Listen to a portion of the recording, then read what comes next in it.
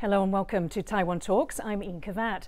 Volodymyr Zelensky spoke to Xi Jinping, and it comes days after China's ambassador to France caused an uproar. We find out what all this means for China, Europe, and Taiwan.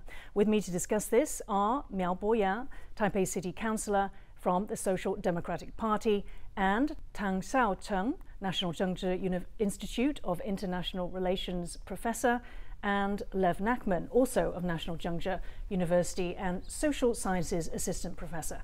Councillor Miao, Professor Hi. Tang, Professor Nachman, very warm welcome to the mm-hmm. show today. The long awaited phone call between Ukrainian President Volodymyr Zelensky and Chinese leader Xi Jinping finally took place. It was the first conversation between the two leaders since Russia's invasion of Ukraine 14 months ago. Beijing's readout said Xi told Zelensky China always stands on the side of peace. Its core stance is to facilitate talks for peace.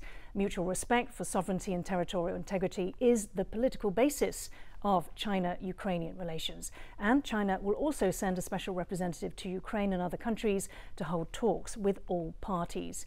Now, meanwhile, in Zelensky's nightly address to the nation, he spoke of a long and mostly reasonable conversation with Xi.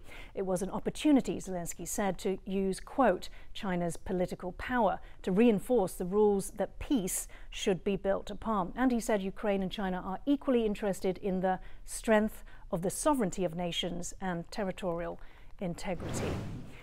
Professor Nachman, if I can come to you first. So, what did you make of the two statements? Uh, I think ultimately it's good to keep in mind that these two leaders talk. Uh, in a time of war, and especially at such a contentious moment as this, it is always better that leaders are talking. Uh, and I think these comments reflect that uh, there is perhaps very good intention on Xi Jinping's part to try to play an important role in, in the peace negotiation process. We know that Xi is one of the few people that has direct access to Putin in Russia. Uh, the big challenge, though, and many people's concern, is that you know China could say all of these very good, positive things about wanting to play a role as peacekeeper, but at the same time, looking at how they treat Taiwan across the Taiwan Strait gives many people pause to their statements. Mm. Councillor Miao, would yes. you agree with that? Does China want to play a role as peacemaker? I think China is uh, using the Russian-Ukraine war as a leverage to blackmail the Western world. So uh, I think, of course, uh, Xi Jinping take Zelensky's phone call is a nice gesture, but I think yes, it is just a nice gesture because and when, when you look at uh, uh, China and Russian relationship, China is still the biggest supporter of uh, Russian at uh, economical ways, and uh, China is still a potential military supporter of, uh, of Russia. So we still must be very careful that China it, are, are they playing the two methods, you know, the two phases and double tactics to, uh, to both uh, Russian and uh, Europe? So yes, we should take um, cautious. Mm. Professor Tang, so mm -hmm. China is saying one thing but doing another? Mm, somewhat like that. I would say, firstly, China might tries to contrast his own image to the United States. So this is in competition of, with the U.S. essentially. Yes, yeah. in terms of peace and war, reconciliation and confrontation. Yeah, so China tries to improve its own image uh, mm. uh, through this kind of uh, talk. And secondly, the war fatigue, because there are demonstrations in, uh, in European countries mm. very often. And thirdly, damage control we'll say, maybe we'll discuss it uh, later, because the uh, Chinese ambassador to France has made something uh, unthinkable. Mm. So Xi Jinping tries to, mm. to control mm. the damage that the ambassador mm. has made. This brings me on to okay. my next question. -hmm. Professor Nachman, so about the timing, is it all about damage control? I mean, can we sort of see that the Ukrainians were quite smart? You know, they kind of threw a lifeline to Xi in the middle of a diplomatic crisis? So there's been talk about this uh, Zelensky Xi phone call for quite some time. Uh, so I, I, don't think it's just damage control. It most certainly is going to play a role of damage control. Uh, but whether or not that was the main intention, I think it's going to be very hard to sparse out. I think mm-hmm. the timing is most certainly good for China to be able to try to uh, fix what was definitely a very bad image for them. Uh, at the same time, I think because there's been so much dialogue about will there, won't there be a Zelensky Xi phone call, I also think that this has been something long in the works. Mm. Councillor Miao, so um, in terms of uh, negotiated peace settlement, um, let, us put aside Lu Shaye's, the uh, Chinese ambassador to France, let's put aside those comments first of all. But what would be the next step? So what, what can China ostensibly try to do in terms of next steps? Next step, uh, I don't think that China actually have so-called next step because uh, in the uh, Russia-Ukraine war, China is always playing the leverage. Uh, so to say, China is trying to throw their chips at the right timing. And uh, of course, the phone call is one of the chips. Mm. And uh, China holds it for 14 months after Xi Jinping even visit Moscow and meet Putin. And right now, that China knows that uh, they need to be, you know, give a nice gesture to Europe, especially Eastern Europe. Mm. So uh, yeah, just take a phone call and say something nice. And and if we look into the uh, you know the, the talk, the dialogue, uh, Xi Jinping even mentioned that oh a nuclear war is not good for everyone, mm. but I've noticed that he said this to a nation that don't have any nuclear weapons. So it looks, to me, it, it, it hears like a threat. Threat. Mm. It, it's not a, you know, a not so nice mm. gesture. So uh, I think the next step is that China wants to play a more important role uh, in this crisis, in the in the in the war, and of course I agree with professors that uh, he wants to be a contrast, and uh, China is still trying to blame the war to the U.S. Mm. and wants to play a hmm. role that uh, we are a peacemaker. Yeah. So how yes. can you be a peacemaker if you're not neutral? Is and and and they would say they are neutral mm. because uh, they they they are playing that. Um, I meet Putin and I have a phone call with Zelensky and mm. I told them that we, we should talk, but uh, it, China didn't say about the conditions. Mm. You know, he, he didn't, Xi Jinping didn't tell Putin that you should uh, withdraw your uh, military and out of uh, Ukraine's territory. No, he didn't mention that. Mm. He just said peace to Zelensky. Mm. And it's very unfair and, but it, it is always the tactics that China use to uh, deal with Taiwan because uh, in, the, in the recent 74 years, we are under the Chinese military threat every day.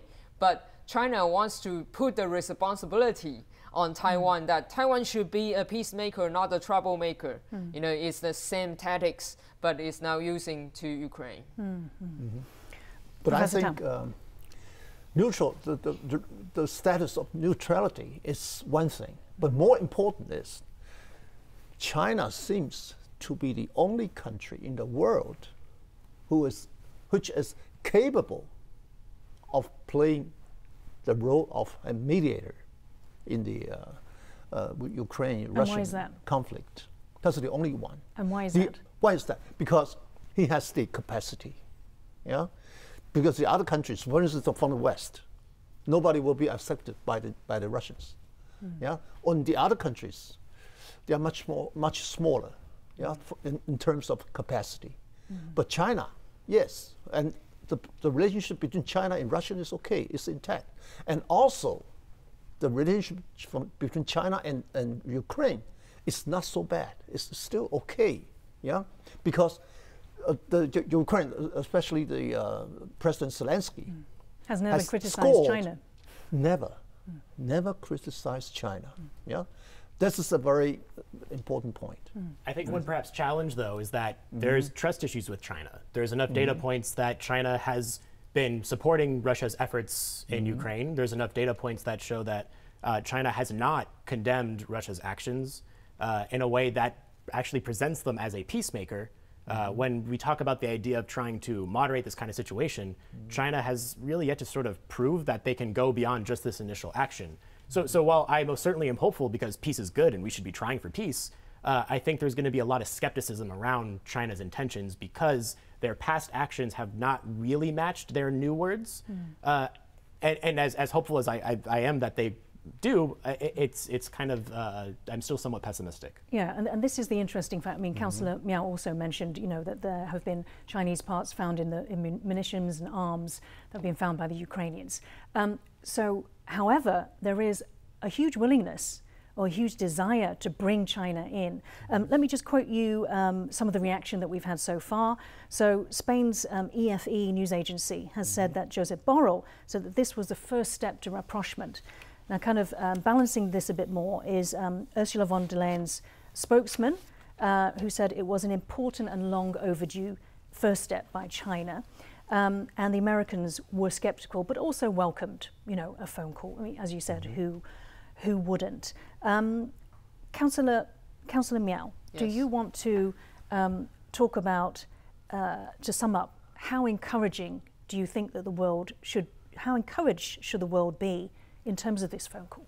Uh, you know, the dialogue is always a good thing. So yes, it's a good thing, but not so good as everyone thinks about because uh, it's a very traditional Chinese Communist Party's tactics that they will go a very huge step forward and uh, a little backward, and that will make everyone thinks, yeah, they are they're listen to, listening to us and uh, the, the, the, the, dialogue is uh, finally works. No, mm. it's not. And, and, and because if we see uh, the past 14 months, the China never condemns Russian and China never promises not to provide uh, military aid to Russian. Mm. So China did not promise anything and China did not join the, the any any effort to restrain uh, the, the Russian invasion. So it's a phone call and the dialogue is good, but it did not uh, lead China to any substantial actions. No. Mm. So um, I, I think it shows that uh, uh, after all those 14 months, uh, the, the dialogue between the world and China has a very little, uh, very little progress, but uh, it's it's because that the CCP, the Chinese Communist Party, have to show the uh, the, the you know the nice gesture to the world for now. Mm. But uh, uh, uh, when when when when I I've been asked what is the CCP's real intention, the true intention, we must look at what they actually are doing. Mm. You know, it, it the the actual actual substantial actions are the real intention of China. Mm. Mm-hmm. Okay, well, let's um, now go to Lu's actual comments and why he caused an uproar. Let's go to his interview on French TV. Bing Wang and James Lin report. China's ambassador to France, Lu Shaye, is under fire. In an interview with French television network LCI, Lu questioned the sovereignty of ex-Soviet states. Même ces pays ex-Union soviétique, ils n'ont pas, ils n'ont pas le statut, euh, comment dire, euh, effectif dans le droit international parce qu'il n'y a pas d'accord international pour concrétiser leur statut d'un pays souverain. The Baltic states, who were a part of the Soviet Union, condemned the Chinese ambassador's statements. The foreign minister of Estonia hit back on Twitter saying, The comments by the Chinese representative on independent and sovereign states are false and a misinterpretation of history. Baltic states, under international law, have been sovereign since 1918 but were occupied for 50 years. Based on the fact that uh, the French, uh, the Chinese ambassador to France has a history of uh, very controversial comments we don't know if uh, this is simply his opinion. Some might say that this is a, a major shift in uh, China's foreign policy. It's not the first time the Chinese ambassador to France has hit the news. Just last year, he said Taiwanese people will be re educated if the country is taken by China, which sees Taiwan as part of its own territory. In response to the statement about the former Soviet states, 80 delegates from the European Parliament have sent a letter to the French foreign minister requesting to censure the Chinese ambassador. And officials across Europe have asked China to clarify its stance. Bing Wang and James Lin. Professor Tang, in your view, did Lu's comments reflect his own personal views or the party's? I don't think it's appropriate uh, for a diplomat to say some things like that. Yeah, even Beijing and also the uh, the, um, the embassy, uh, Chinese embassy in Paris, has distanced, distanced themselves uh, to this kind of uh, talk mm. and to, to its own uh, ambassador. And do you believe so, do you believe that they are distancing themselves? Do you believe yeah, that yeah, it's yeah. just personal because views? the spokesper the spokesperson has made a very clear uh, statement to so distance distance. So you take that on face value. themselves. You take that on face value. Yeah, more or less, more or less. Yeah, the, a, a, good diplomat uh, shouldn't do that mm. uh, because, effectively, uh, uh, in, in, effect, a good diplomat should do effective communications. Yeah, and should also try to to solve problems, not create problems. He creates a lot of problems uh, between uh, China and, uh, and some Western, uh, some European countries. And that's why I would say it, it is uh, maybe he is not very uh, well prepared for this kind of talk. Or from the other side, the moderator has challenged him mm. too much. Mm -hmm. So he felt, him, felt himself mm. very, very um, not in the position to do the the right job and to give the right answer. Mm. So that's why I think it's, a, it's an incident. Okay. Professor Nachman. This is not the first time he said these sort of uh, pretty outrageous comments. Uh, and even though there's been a lot of dialogue back and forth about whether or not, you know, wolf warrior diplomacy is over or whether it's back, uh, this uh, remains to be one of the critical diplomats that continues to uh, really hurt the PRC's international image. Mm. And you have to think at this point, why has Xi not recalled him? Why mm. is he still there? Why is he still allowed to make these comments? Uh, even if they are distancing themselves, they are not removing him from his position, uh, and they are not actually taking away the megaphone that he currently has to make these kinds of comments. Councillor Miao. And I think it's a daily normal for Taiwanese to face uh, hundreds of thousands Lu Shaye every day. you know, China is not a player that follows international rules. China is a player that don't follow any rules, mm. and uh, China is very used to uh, deny other nations sovereignty and uh, trying to, you know, make, make very awkward uh, imp interpretation of other nations' history. Mm. So yes, it's our daily life, and uh, unfortunately, that the Europe, especially Eastern Europe, experienced this for the very first time. Uh. And uh, I think that uh, uh, China is still playing, you know, the, the double strategies in, in this, uh, you, you, may call incident or not so incident because um, after China take a very big step forward, and uh, I, I, think China is trying to, uh, is attempt to find what's the bottom line of Europe, mm. especially after uh, the French French president visit China and uh, he says something common uh, of Taiwan situation. China wants to test what is the bottom line of France. Mm. You know, uh, it, it, can France tolerate a figure like Lu Shaye mm. and and he can still uh, stay in France as an ambassador or mm. or not? And uh, China is trying to, you know, the the Eastern Europe it got very uh, angry, and China said, "Okay, okay, I will take Zelensky phone call, and uh, don't be mad." Mm. And if Europe accept that, and China knows that, wow, uh, you know, he can Chi Chinese can usually knows that how many chips are they holding on, and what can they exchange for. Mm. Professor Tang, very good point. Mm. Both both points by our other guests. Uh, this is not good for China's reputation. China mm -hmm. itself has said that the ambassador's views are not in line mm -hmm. with its position, the official position. So why didn't they punish? Why haven't they punished Lu Shaye?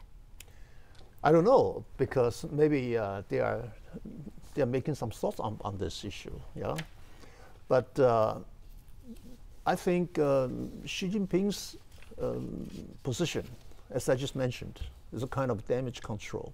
Yeah, it tried to play down the uh, the, uh, the the impact. Professor Nachman, uh, I would like actually your um, opinion. You know, you're both experts in international relations. What basis did Lu have for actually saying what he said, which is that the so-called ex-Soviet, some of them um, ex-Soviet occupied states, are not countries under international law? What, what basis? Oh, there isn't one. He's wrong. Like it's as simple as, as he is uh, saying something that is so emphatically not true that that's why it's caused such a big reaction. It's it's to say that uh, sovereign states that are internationally recognized have formal diplomatic relations, have their own constitutions, civil societies, institutions, aren't actually there. Uh, so that's that's why it's such a shocking statement for a diplomat of all people, a diplomat who's supposed to be well versed in these kinds of, of, of conversations, to make something that's so outlandishly wrong. So do you, do you buy the argument that he was not well prepared for a media interview? No, no, I think that's not true because, again, he's a professional diplomat who's been a professional diplomat for quite some time. Uh, I think saying that he's not prepared to comment on the recognition of a well of, of a group of well-established countries is is, is uh, a bit of a ludicrous excuse on, on his behalf. Yeah, and, and so of course, um, whilst there's a focus on the three Baltic states, um, maybe I can put this question to Councillor Miao. Uh, you know, what we're really talking about here is Ukraine. So um, Ukraine being an ex-Soviet state, um, the Wall Street Journal wrote that Shaye embarrassed Emmanuel Macron. Do you? What's your take on that? I think that the Lu um, incident shows that Emmanuel Macron didn't know how to deal with China, didn't know how to deal with CCP government because Do, do you think he was being played? he, he was being a little bit naive because, or or or I, I would say that the Europe still thinks that China is uh, a, a very rational, you know, rational nation that could could, could, could deal them with dialogue or uh, you know talks or give some nice gesture and they will give nice gestures back. No, it's not like this because uh, in all these 74 years, Taiwan, we what what's our experience is that um, China is trying to push your bottom line back, back, and again back. So if you uh, uh, take a step backwards, then China will say, "Oh, thank you," and take they, they will take a step forward. So when Macron take a step backwards, of course, Xi Jinping, yes, thank you, and uh, we know that uh, France needs China more than China needs France, and so I, I know that you can you can make Lu Shaye go to anywhere, and I will make Lu Shaye. He has a very big microphone because he is the ambassador of China in France, one of the most important country in the world. So everything he said will be immediately immediately um, noticed by the world. Hmm. And so he said, "Oh, th- oh, those ex-Soviet country is not a sovereign country. Yes, hmm. and Europe is mad. And so what? Hmm. You know, the Chinese will say, "So what? Oh, okay. What what you all can do is to call my ambassador to explain. Yes, I will give you an explain, explanation that is not our official stand.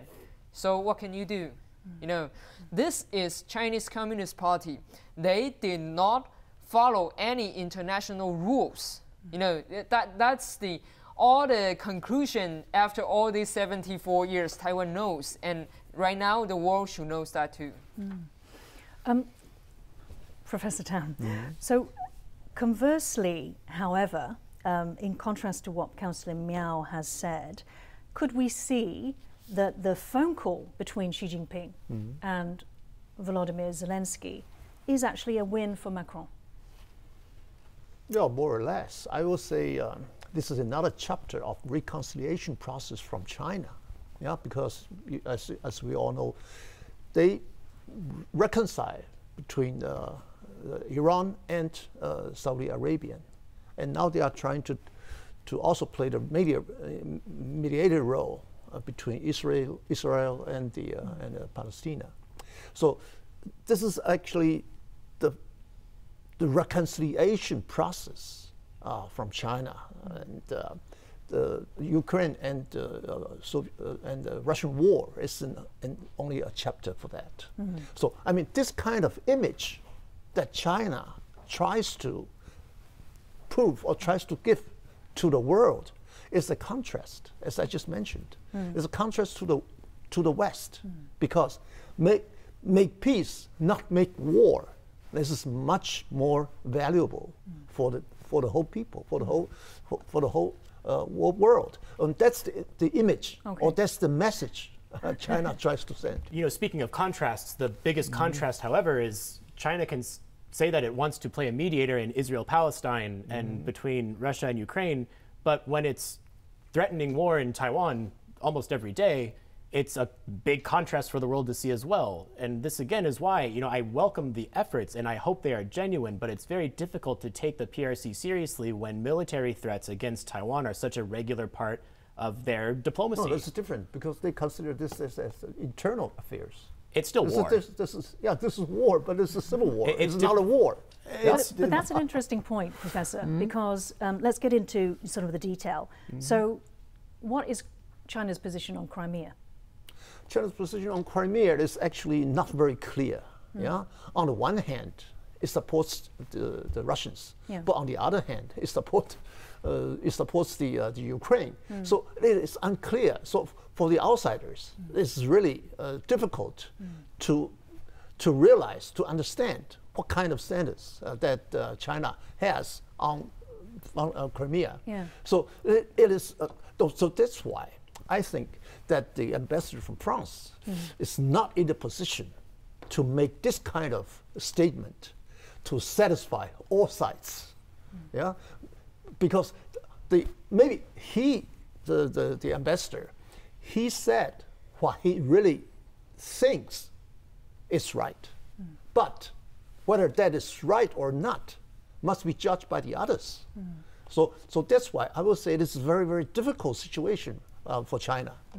Mm. Yeah, I mean, I think China's, um, you know, position on sovereignty and territorial borders is definitely under the spotlight and will continue to be as we go on. Councillor Miao, um, let's play a clip of China's press conference when pressed about Ukraine's status. This is after the um, Lu Shaye comments came out. Mm -hmm. Let's have a look. 你提到的国家是联合国的正式会员国，只有主权国家才能成为联合国的正式会员国。中国根据联合国宪章宗旨和原则以及和平共处五项原则，同乌克兰建立和发展着良好的国家间关系。So, Councillor as, as Professor Nachman pointed out, you know, this is actually about Taiwan, isn't it? Uh, yeah, you know, when talk about Taiwan, China always said that Taiwan is China Chinese uh, in in in a problem, in an issue, not uh, a nation to nation issue, and also uh, China would say that uh, you know the sovereign of the nation and the integrity of territory should be respect. And it all mentioned to that Taiwan is a part of China as their stand, you know. So, um, but you just mentioned a very uh, awkward problem to China is that what about the Crimea, you know?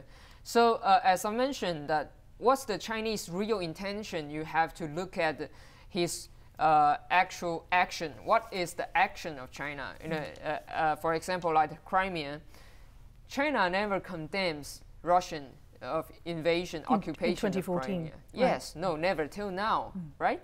And uh, China never, never supports that uh, Russian should, uh, you know, give Crimea back to Ukraine. And uh, when Lu Shaye was asked about Crimea on TV, and they say that oh no, and, and, and he said that no no no, the, all these Eastern Europe nation is not a nation, you know. So that is China Chinese real stand of Crimea, and uh, what's the you know the spokesperson on the you know conference uh, press conference is not there you know it, it's just like a play, you know. Uh, in Chinese, there, we, we, we have a term of 潜台词, you know, is that one thing we Ch- the Chinese talk in front of the public, but the other thing that we did in under the table. So uh, Chinese government is still playing this on international society. When we are looking at what is the genuine uh, intention of China, we should look at what Chinese government actually done, but not what they said, because they can change what they said every day mm. or even every hour. Mm. Professor Tang, do you -hmm. want mm-hmm. to address that? And also, just the issue of you know, China's position is that Taiwan is part of China, mm -hmm. but that is China's position. Mm -hmm. Yeah. Taiwan's this, position this, China's is position. different depending on who is in government. Yeah, you might. Right. I, I mean, uh, this is uh, uh, China, Chinese position. This, this is correct because it's written in the in the uh, constitution. Mm -hmm. yeah? yeah? so they cannot change this for the moment. So that's why it causes lots of troubles. But from the other side, uh, some of the countries they accept the so-called one China, uh, not principle, but one China uh, policy. Yeah, so one China policy says something. Yeah, because China has the, the diplomatic relations with most of the country in the world. Mm -hmm. So that's why. So they think that is the status of Taiwan still belongs to them, mm -hmm. and also the uh, the cross-strait uh, relationship uh, be, uh, still belongs to the uh, internal affairs of the, of the Chinese. Mm. So they have their stance. Mm. And many countries, they support this. But the situation today is changing.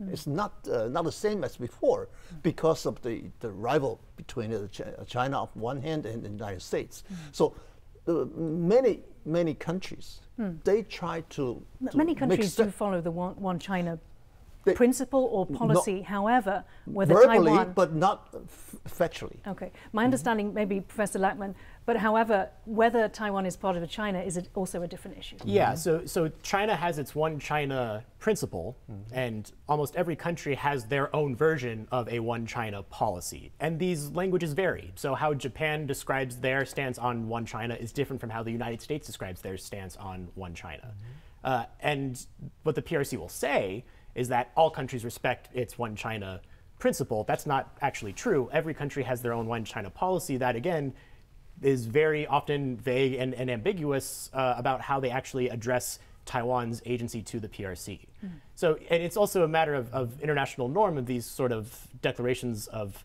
of military threats that the PRC are making. Whether or not the PRC says that Taiwan is part of China is almost secondary if they're actually trying to engage in an act of war that's not going to help its international reputation, which is ultimately what, what the PRC is trying to do.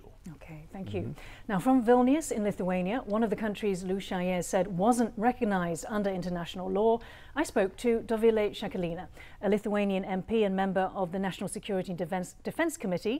Shakalina is also vice chair of the Taiwan Parliamentary Relations. I began by asking whether Lu's comments expressed his own views, as according to Beijing.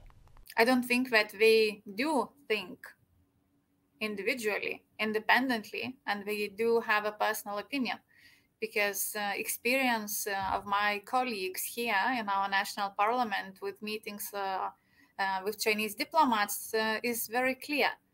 They quite often read from a page. They don't even express uh, their opinions in the closed private meetings where there is nobody else in the room.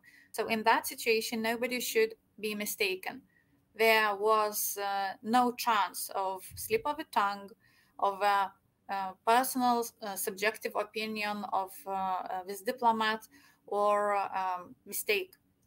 It was, of course, as always, in such an authoritarian state which controls every citizen of itself, only a statement that was completely in line with Chinese government's opinion. And the statement that was made uh, afterwards by the Chinese ministry uh, simply uh, is, well, I'd say a game because in uh, this situation, uh, the goal of the game was to see what would happen. Would other states defend those three European Union states, uh, Baltic states, Lithuania, Latvia, and Estonia? how united the front of defense would be uh, would it be possible to slip in doubt or confusion? And so you were saying that there, uh, he was effectively testing testing the waters. And do you think that there was a direct link between uh, his Lu Shaye's comments and Macron visiting Beijing and those media comments that he made. It's not uh, a coincidence that ambassador of China in France made such a comment about um, sovereignty of uh, uh, Baltic states and uh, former states of Soviet Union. And it's not a coincidence that after that, just a couple of days ago, in the Global Times, uh, an article appeared, uh, very, I'd say, interesting article with uh, a very tough and categorical opinion. We should not view um, the China EU relations through the prism of the Ukraine crisis and sacrifice China EU relations and interest of China to develop its relations with the US. And in that article, uh, what we claim is that, uh, in their view, more and more European politicians agree with calls of Europe to achieve strategic autonomy and then we quote Macron a lot. And then we talk about the visit of Macron to China a lot. And there are two conclusions that we must make from this.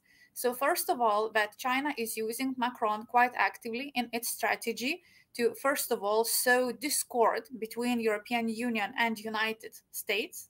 And secondly, having in mind that United States, United States has also taken on responsibility and expressed politically quite clearly that we are also going to defend Taiwan. And in that sense, so that looks like a preparation for the next stage while trying uh, to sow discord between EU and US, which would be, well, critically damaging to our collective defense, and at the same time preparing uh, for, well, or threatening invasion into Taiwan, which China openly declared several times already in the past few uh, months. So in that sense, uh, it looks uh, very dangerous and also very well connected. I want to get your view on how you think Macron's uh, reacted towards Lu's comments. Um, the Wall Street Journal says that Lou has embarrassed Macron. Uh, would you agree with that? I should say that I am not happy uh, that for the French president it took three days to react to such derogatory remarks by Chinese ambassador to France.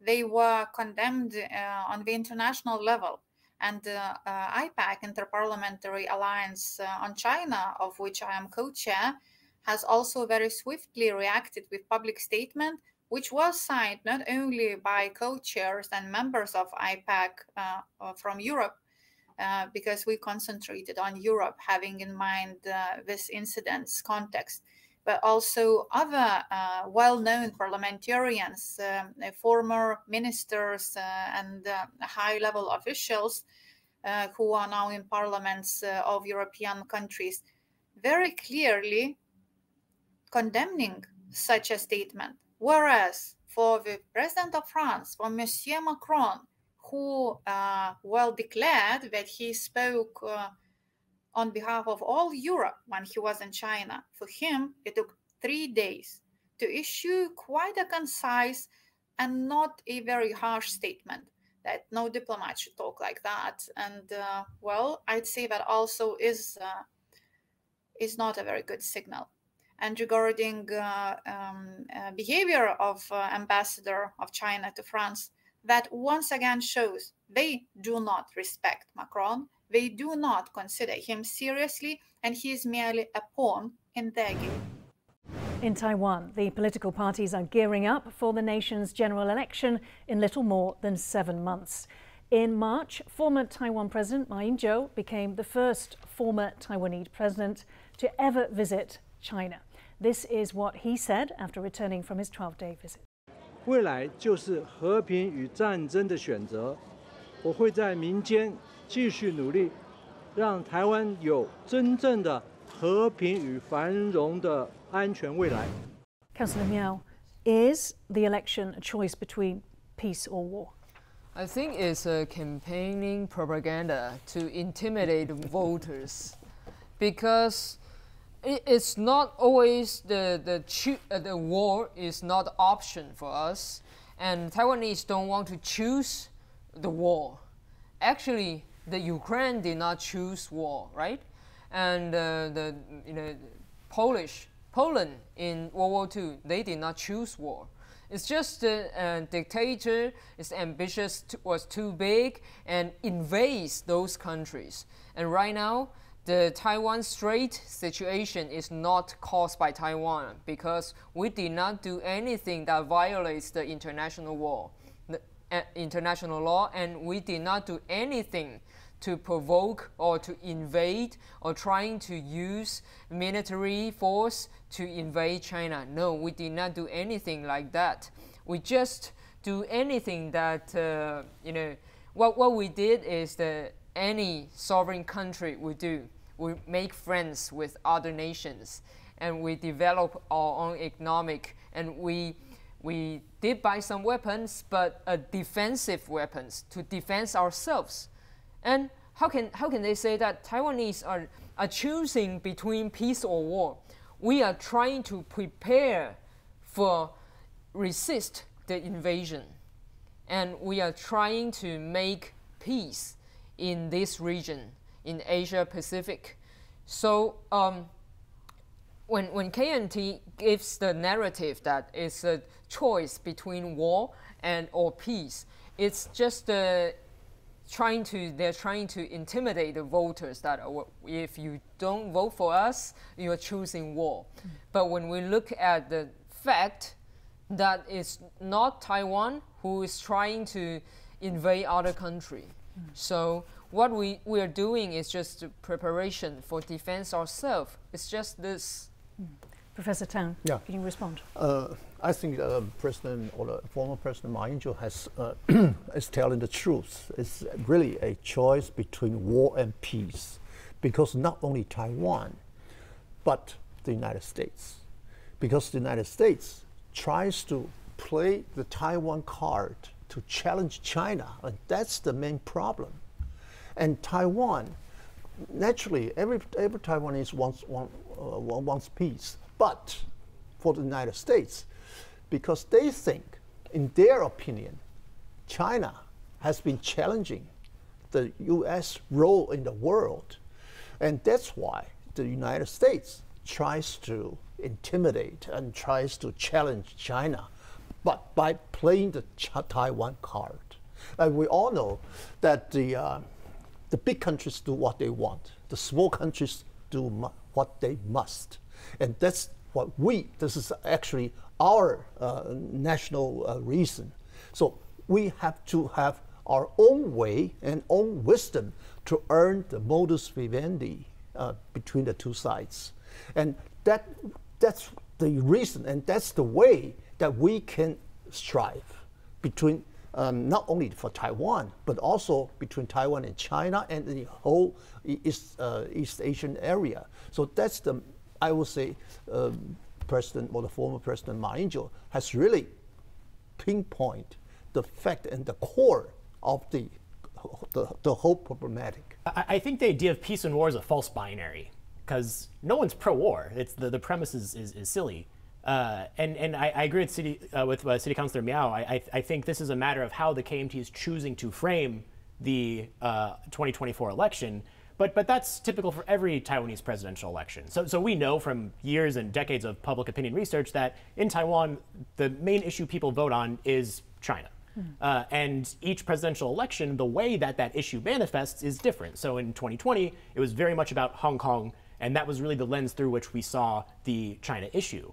And going into 2024, we see the KMT is very much clearly trying to frame it as an issue of war uh, I, I, think again it's it's a bit of a risky move because it, it really sort of um, creates a, a, very dramatic frame for the for the 2024 election. Mm-hmm. Uh, and I think what we really need to see is how effective that's actually going to be for voters because it's still very early in the mm-hmm. election season. Uh, we still don't actually know who mm-hmm. formally the KMT nominee is. And, and they're probably going to have some amount of sway over that rhetoric as well. So, you know, even though that is what they're seem to be setting themselves up for for 2024. How effective of a strategy that's going to be, I think, mm. time will tell. Oh, okay. Mm-hmm. Professor I would say between Taiwan and China, I mean mm-hmm. the cross strait, mm-hmm. we don't have any dialogue since the years, mm. since uh, Tsai uh, uh, since Tsai Ing-wen uh, So, so what kind office. of dialogue? Tell, tell me what happens. No, the, the KMT's dialogue, where does that lead? Does that help to stop the unification goal of Xi Jinping? No, uh, unification is, is very remote. So the problem is we have to make peace for the moment. So that's why peace accord is actually a kind of solution between the two sides. And for instance, uh, the United States has um, often said they oppose the unilateral change of the status quo and by force. So that means no reunification, no independence, and no use of force. Yeah, mm-hmm. no use of force is the most important now for is, is actually our vital interest. Mm. So that's why try to make a kind of peace accord mm. without changing the status quo. So peace accords need conditions, though. Councillor Miao, do you want Yeah. to respond? I think everyone wants to dialogue, wants a dialogue. Even President Tsai, she have addressed that we welcome dialogue. Uh, and, but it's only one condition that we don't want any political uh, con- condition. Because uh, when talk about dialogue, Xi Jinping is the one who didn't answer the phone call. You know, Xi Jinping never calls Taiwan, and President Tsai said, "No, I, I don't want to talk with them." No, never. So it's China. It is China that set a very, very high, a very difficult obstacle for the dialogue because China wants that we agree the reunification, the unification, and then we will have a dialogue. Hmm. But Taiwanese don't want unification with China, right? Hmm. Because we, we are a democracy and China isn't. Hmm. We want to keep our own dem- democratic lifestyle. So, what is the peace accord? If the peace accord says that Taiwan Strait is the uh, China inter- interior efforts and no other uh, foreign countries should uh, uh, intervene Taiwan and China and this kind of peace accord is like just a peace accord between Tibet and, and China or even you know China can deny the Chinese England agreement between Hong Kong. You know, even it is the uh, re- real international treaty that the United Nations recognizes. And Chi- Chinese can say, oh, it is a historical document and don't have any you know, real use. So, what, what, what, what can we protect? Can we protect us by only a paper? No, we can only rely on our own defense force. You know, uh, you know the, the two D's dialogue, of course, very important. But the other D, determination. You know, we have to show the determination that we are a sovereign nation and we will resist if China invades. So if China did not invade, if China doesn't invade, then there will be no war. This is the real point.